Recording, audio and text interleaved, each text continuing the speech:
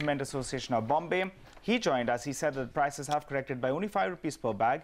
But later on in yesterday's trading session, we had various news-based reports that suggested that the price correction has been around 10 to around 15% in West India. But no one better than uh, Ms. Uh, Beena Engineer, the director of Sanghi Industries, who joins us. Hi, ma'am. Thanks so much, ma'am, for joining in. Uh, first things first, could you tell us, um, in the last, you know, 20, 25 days since the time we've seen demonetization come into play, what's been the impact? Have you seen sales, any kind of dip in sales? What has been the price correction as well on uh, cement uh, per bag in the best, best part of uh, our country? Yeah, first few days uh, clearly everyone was in a shock and therefore uh, there were cancellation of orders and then the orders dried up for a few days particularly from the trade segment. The non-trade segment where we are one of the major suppliers in Gujarat uh, remained unaffected largely. Uh, however, from the trade segment and particularly the retail retail trade segment which comes from the rural or the interior parts, clearly there was an impact for first 15 days. Uh, but we now see that things are coming back to shape and uh, probably the impact of the demonetization is slowly fading away in the sense that people are now trying to put together Have their working capital and other resources back into business. Have prices corrected, Uh, ma'am? prices had, uh, yeah, prices have marginally corrected, say about 5 to 8 percent or so. Okay, and can we expect any more price correction? Because a lot of people indicate that the real impact of demonetization will come in the month of December. So are you expecting any more price cuts? No, we don't expect any further price cut. We expect the prices to be maintained because anyway they have bottomed out. And uh, with the volume slowly coming back, probably we believe that the demand for the November has been pent up. So there has not been a cancellation of demand but a postponement of demand and all that pent up demand should come back in December and in the following quarter.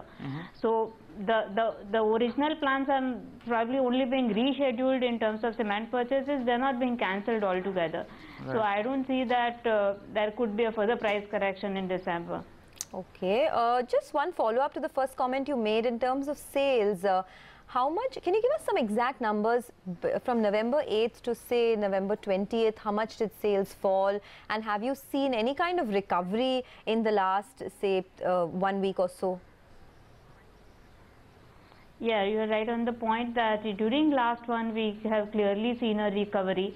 So that that's why my anticipation that the pent up demand is going to get released uh, as we go, move forward into December and in the next quarter. Right. Uh, that is how my uh, view comes from. Right. Uh, in initial 15 days, clearly there was a shock, labor was not available and people didn't have the resources. But companies like us, again, we have extended additional credit to the dealers and we are also trying to help things out.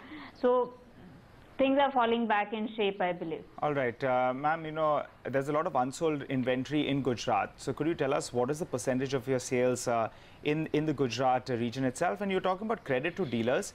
Prior to this demonetization, what was the credit used to give? And post it, have you increased that credit limit? Yes. So uh, inventory in terms of the cement, there I mean there is never very long inventory one can hold for cement. So there's not substantial Unsold inventory, ma'am, in the terms housing of space. Cement.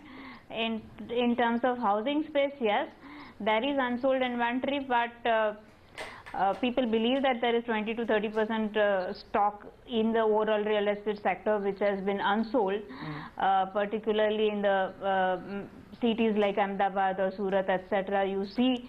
Uh, uh, already ready uh, multi-story buildings which are uh, yet to be occupied.